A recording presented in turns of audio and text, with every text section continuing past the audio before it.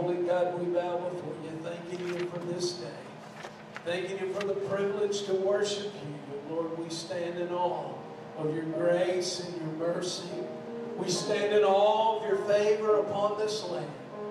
Lord, we get it. We have what we have because of you.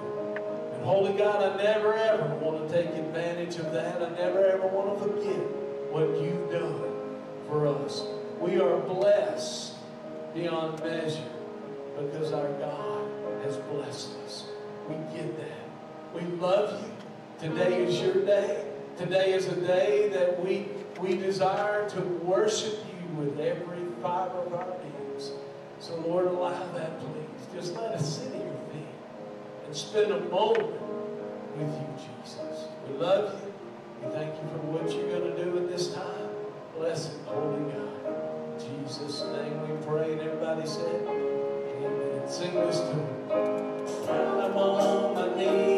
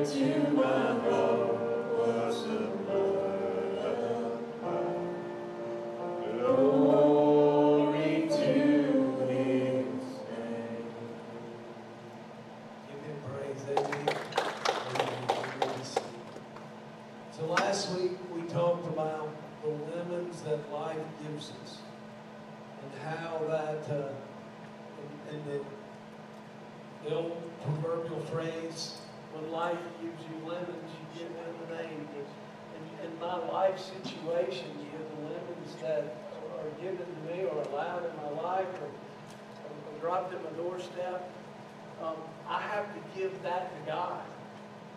I have to, to give it to Him from a standpoint of and allowing Him to, to, to bring that sweetness in, into my message, to bring His hand, His fixes, His abilities, not mine. My Bible says with man things are in, or things are impossible, but with God all things are possible. Amen. And, and so I let him into that to bring possibility. I let him, I give him my lemons. But sometimes lemons are given to us, if you would, or allowed. They're still allowed by God, but sometimes it, it's it's somebody else throws me. You know, as I was giving mine last week, I said, you won't throw it at me, you can. But sometimes somebody else throws it at you. Somebody else brings that sourness or that bitterness into your life. Somebody else causes it, if you would. And when they cause that pain, anybody ever been hurt by somebody else? Come on. All day long. And so, you know, we, we there's there's that, that's going to happen. It's inevitable. And I thought about this on our journey, and that's kind of why I put our journey still, we're still on our journey this year. And, and forgive us because inevitably somebody's going to hurt you, somebody's going to say something to you, somebody's going to do something to you, they're going to stab you in the back, they're going to cause pain in your life, they're going to cause hurt in your life, they're going to cause difficulty in your life, and it's going to come in the form of a person and what they do. And so you and I need to understand that that's going to bring up a, a scenario in my life that, that where I have to make a choice. I have to choose whether or not I forgive them. I have to choose whether or not I let this fester. I let this continue on in my life. I have to choose whether or not I forgive them. Now, Jesus, when he gave us the, the, the great model prayer in Matthew 6, I want us to see that first. I want you to see. Matthew 6, he said this in verse 12. And forgive us our debts as we forgive our debtors. Well, that's part of that, that great model prayer. I want to read it to you in the Living Bible. And it says it like this And forgive us our sins just as we have forgiven those who have sinned against us. Now leave that up for Forgive us our sins. I'm good with that. Say amen. I'm good. I want God to forgive me. I want God to, to, to, to pour His mercy out upon me and His grace out upon me. Man, I am all over the first part of that passage. Forgive me where I mess up because I mess up. Forgive me of my sins, God, because I sure do know how to sin, God. I have messed up more times than I can imagine. And, and, and, and so, God, I need you to forgive me. Come on. Who's going to get in the boat with me? I need you to forgive me. And, and, and then he goes on to say, Forgive me of my sins, God, just as I have forgiven those who hurt me, who stab me in the back, who say things about me, who hurt my feelings and hurt my family and God, you you won't wait, wait, wait. I'm good with the first part. Amen. I'm, perfect with the first part. That second part, I struggle with. That second part, I don't like. God, you didn't even need to say that. And God said, whoa, whoa, again. Yes, man. Forgive me of my sins. And forgive us of our sins just as we have forgiven those who sin against us. You and I have a choice. You and I have a choice, and that choice is called forgiveness. You say, well, I thought I had a choice. Well, it's to forgive or not to forgive. But if I choose not to forgive, I'm going to put another word in that category. I'm going to put another word that describes what, what happens when I choose not to forgive. It causes bitterness. It causes bitterness. Bitterness begins to grow and, and fester when I choose not to forgive. It's a vote of bitterness when you're hurt and you're wronged. And, and, and, and, and, and, and you know, the, the, the truth is, guys, on that boat of bitterness, you know, nine times out of ten, is that not the boat we choose to get on? We've got two boats docked, if you would. You can choose and have to choose when somebody hurts you, and somebody will hurt you. Somebody will say something about you. Somebody will do something to stab you. And come on, Amen. You will face this. They have already faced it many times this year.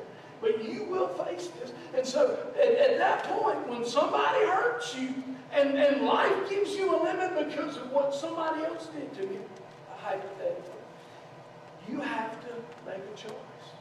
Which boat do I get on? Do I get on the boat of forgiveness or do I get on the boat of bitterness? It's my choice. It's forgiveness or unforgiveness. You can call it what you want to call it. But I can tell you that this unforgiveness will root up bitterness.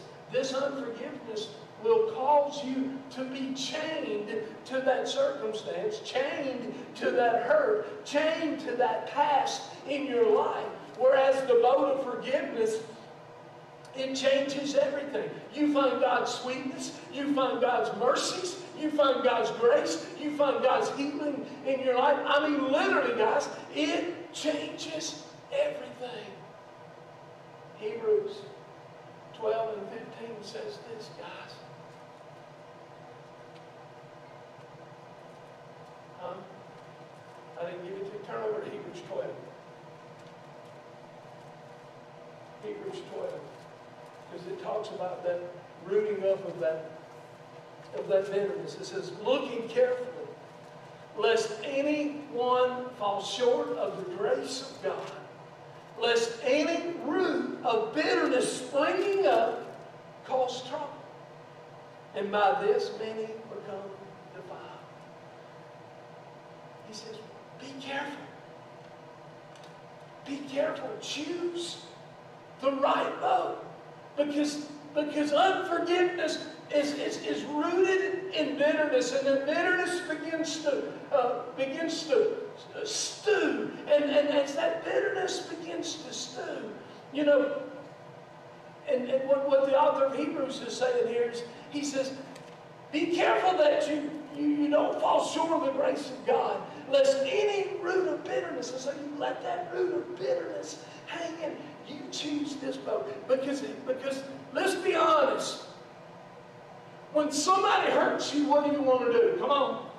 Hurt them back. That's exactly right. When somebody wrongs you, you want to get even with them. Come on. That's just the human nature. That's human nature. That's just kind of how it is. Somebody does me bad, I want, I, I want to get back at. But maybe, maybe some of us aren't as, as vocal as some would be, but, but the truth is, when somebody hurts you or hurts you, man, and, you know, you want to, you, you know, you, and, and so here's the natural way, is to choose this way of unforgiveness, of bitterness. Because I want to get, and especially when they do something bad to you. You know, the last thing I want to do is let you off the hook. Because if, if I'm in this boat of unforgiveness, if I'm in this boat of, of, of bitterness, if I'm in this boat of, of, of, you know, not, not the forgiving boat, but this boat, I'm still holding you accountable. I still have you on the hook for it. Right? I look this way, you know who's on the hook? There's only one person still on the hook at this point, and that's you. That's you. But, the natural sense or the natural, the natural way is to is to hang out there in that in that bitterness. Because it feels good to get in. Because it feels good to stew about it. It feels good to pick up the phone and call somebody about it and, and, and, and just slam that other person. It feels good to, to hold on to my bitterness. It feels good to hold on to my hurt. I don't want to do away with it. You know what Jesus said? Matthew 6. You keep going down there, verse 14. He says, if you forgive men their trespasses, your heavenly Father will also forgive you. Look at verse 15. But if you do not forgive men with their trespasses, neither will your Father forgive your trespasses. Okay, God, that's not fair. That's not fair, God. I, God, don't you know I'm over here and I'm in this boat of, of bitterness. I'm in this boat of, of unforgiving. And, and, and God, because they hurt me, they stabbed me in the back, they talked about me, they hurt my family. God, don't you know what they did? And it's not fair, God, that you would look to me and say, Ken, I expect you to forgive them of their trespasses, of their sins, of the way they hurt you. I need you out of that boat into this boat because if you don't get out of that boat and get into this boat, I'm not going to forgive you. Uh-oh. Did he really go there? Somebody say amen. He did. He did. Say, oh no, preacher, I, I'm hanging out here. Look what it's doing to you. If you do not forgive men their trespasses, their hurts of you, their slamming you, what they cause the pain in your life, you, you fill in the gap. If you don't forgive men their trespasses, then it says, neither will your Father forgive your trespasses. You say, but preacher, I'm saved. Say me. How many of you in here saved? Say me. Blood bought, lamb, name written in the Lamb's book of life. If today is your day, you're going to heaven. Say me. Know that. I'm forgiven, preacher. Because he was, we sing that song. Because he was forsaken. I know, I know, I said, I'm forgiven. So why do I get back over to my boat because I'm forgiven? But but how many of you sin?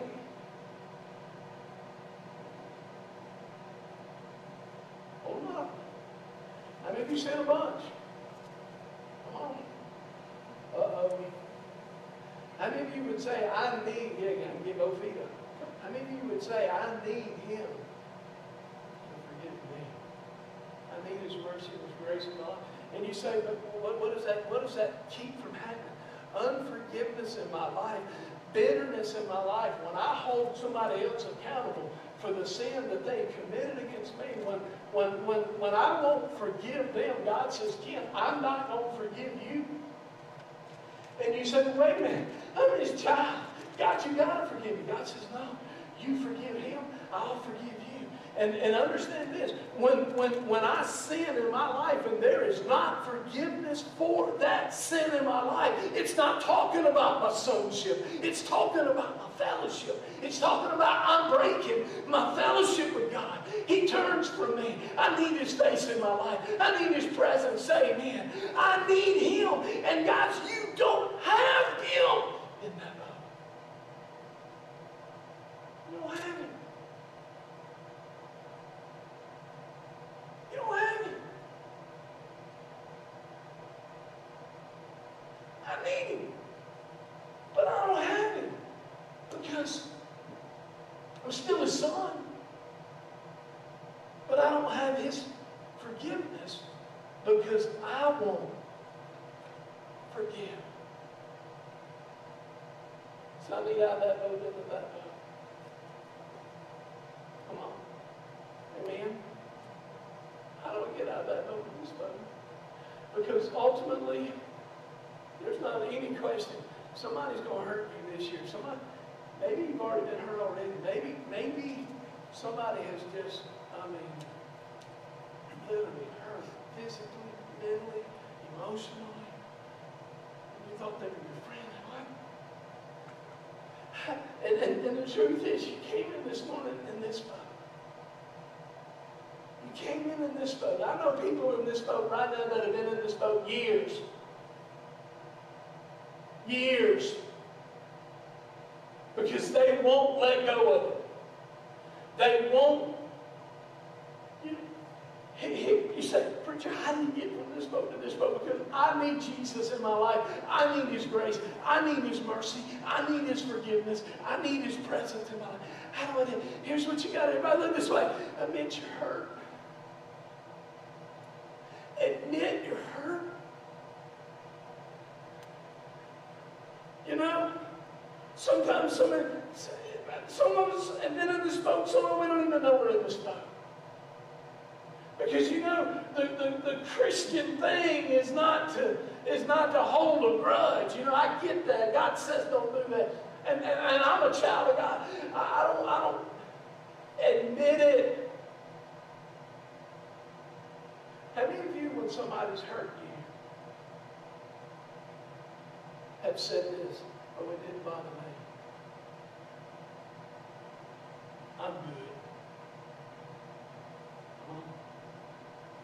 And the truth is, it was eating you alive, wasn't it? Because they, you couldn't believe, they didn't admit it. Admit that you're hurting. Admit that you're in that boat of bitterness. Admit where you are. And then make a choice. Make a choice. I choose. One, admit, God, I'm in this boat. I don't want to be in this boat. God, I want to change this boat. I want to, God, admit that and then make a choice. I choose to release the person that hurt me. I choose to release. I'm going to let the person that hurt me off the hook, so to speak. I'm going to let it go. I'm going to let them. I release them. And you think, man, if I do that, preacher, then, then, then you know, if I, if, I, if I let them go, if I release them, and, and you say, where are you releasing them to? I'm releasing them to God. Come on. I let God handle this. Remember, last week we had to bring our limits and we had to lay them on the altar and we had to say, God, I trust you. God, I need you. God, fix this. And God, take care of this. I'm releasing my pain, my circumstance, my hurt, my stab in the back. What they did it to me, I'm admitting it and I'm releasing it to God. God, I let go of it. Because if I don't let go of it, you know where I'm chained that one? I'm still chained to that person who hurt me. Come on. I'm still in this boat it. If I don't let that go, I'm still connected to that person. I release it. You see what I think one of the reasons we struggle so much right here is because when we when we think about somebody that hurt me, a lot of times when people hurt you, they were people you trusted.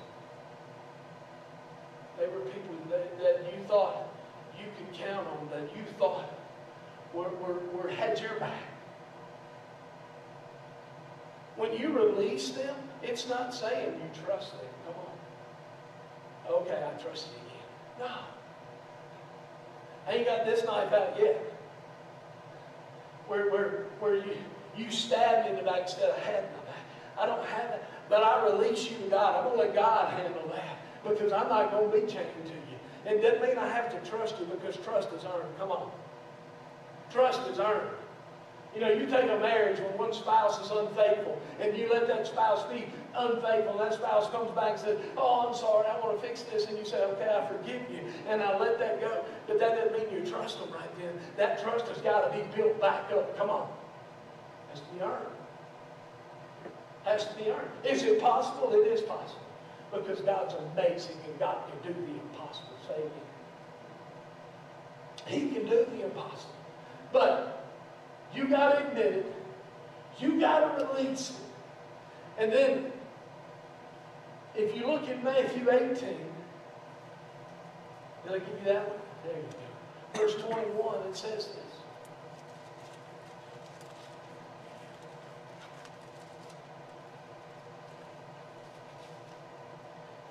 Peter came to Jesus.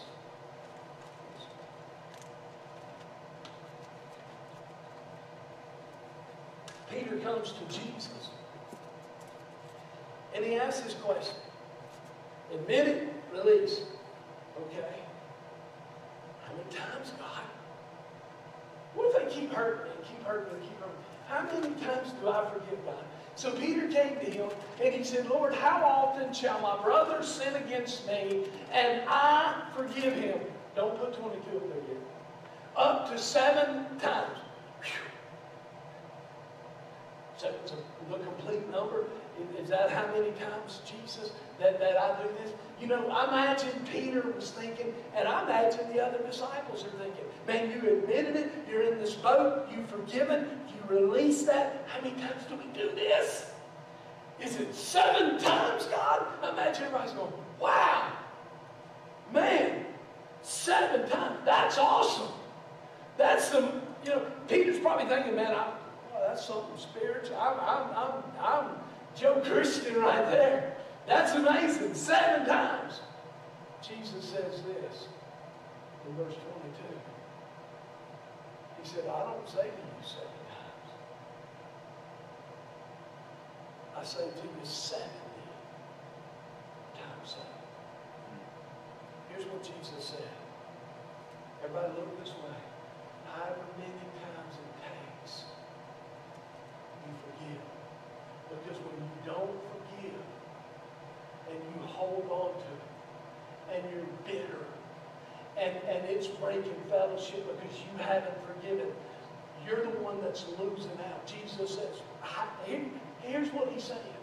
However many times it takes for you to get out of this boat, get in this boat.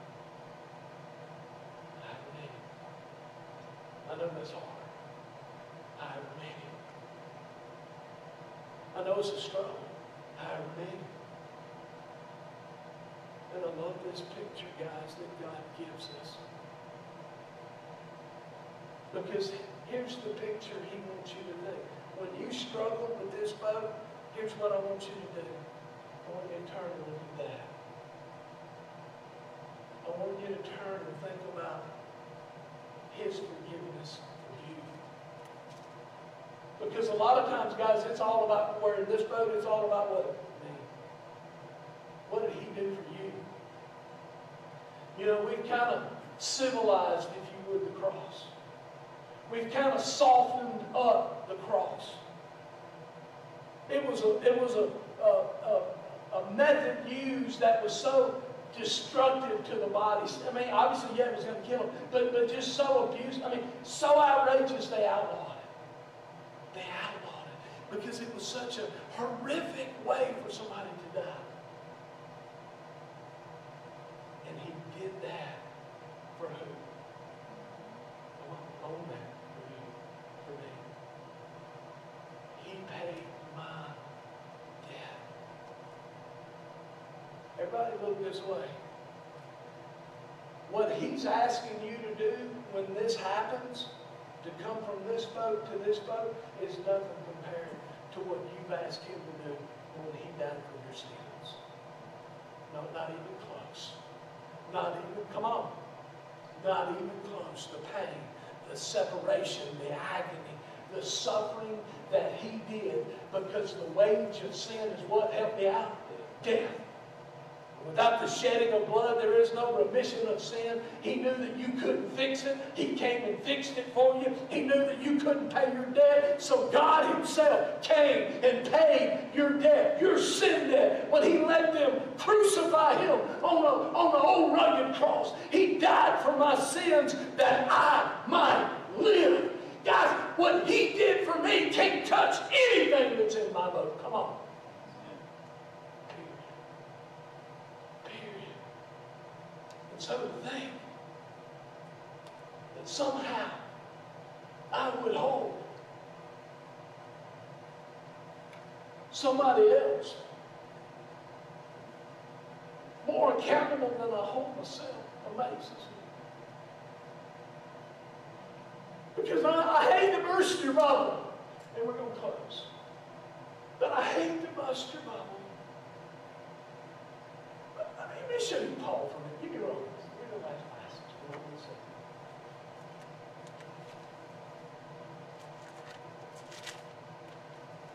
Is it there? Seven fifteen. Why don't you start there? There we go. Here's Paul. For what I'm doing, I don't understand. We're going to read Romans 7 15. For what I will to do, I don't do it. I do not practice. But what I hate, I do that. Look at verse 16. And if then I do what I will not to do, I agree with the law that that is good. But now it's no longer I who do it, but the sin that. See what Paul's saying? Paul's saying, I am a born again child of God. I am saved. I am blood bought. But and but but I I royally what? Help me out. Mess up. He says, it's no longer I, but the sin that dwells in me. Keep going. For I know that in me, that is my flesh, nothing good dwells for me. For to will is present, for to will is present with me. But how to perform what is good, I do not find. For the good that I will to do, I do not do, but the evil I will to do, that I practice. Here's truth, and everybody needs to understand it. Every single one of us in here are still wretched. Every single one of us in here still know how to sin. Come on, because you still, you got saved, you got a new heart, you, you, your, your name's written in the Lamb's Book of Life, you're born again, you're blood bought, but you're still flesh. Come on. And you still know how to sin. Say amen. Still mess up every now and then. You're not perfect. You're not perfect. I hate to bust your Bible. Nobody in this room is perfect. Everybody in here is flawed. Everybody is flawed. Give us that next passage.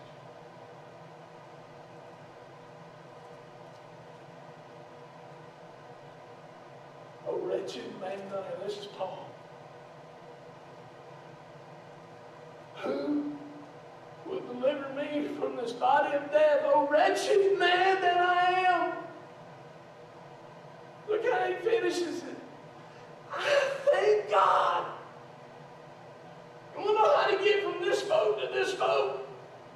You want to know how to get from, from, from miserableness chained to your past? You want to know how to get out of this root of, of bitterness, this unforgiveness that's here? You want to step into this boat here of forgiveness, of His mercy, of His grace? And you say, but preacher, I can't because it's just me. Let Him do it. I thank God that I can get here through Jesus Christ, my Lord.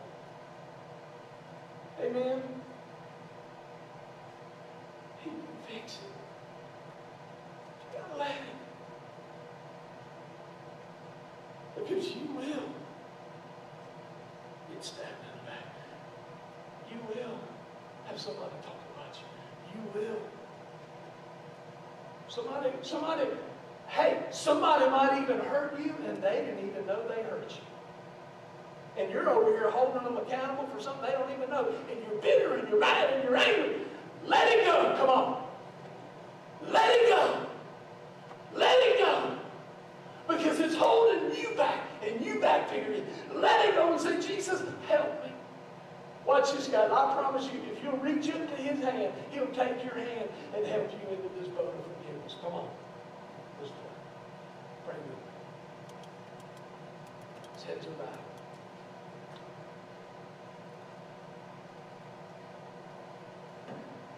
And eyes are closed. I don't know.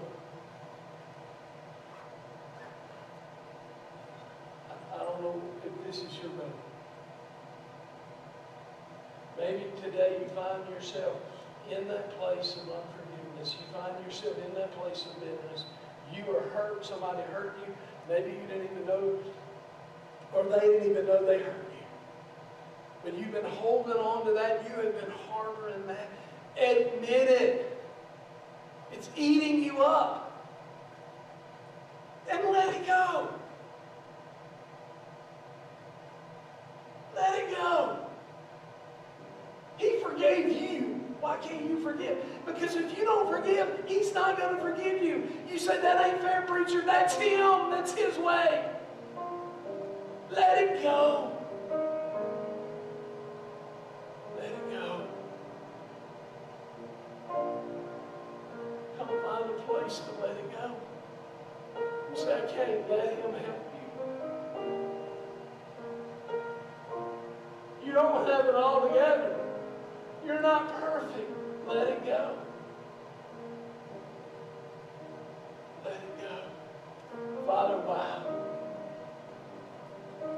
You for your word today. Thank you for this message on our journey this year.